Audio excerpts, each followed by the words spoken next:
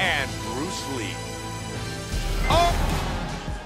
Conor McGregor, Bruce Lee. Here we go! Fight scheduled for five five-minute rounds. Oh, Big head kick. in this Hurt down. All over him on the ground.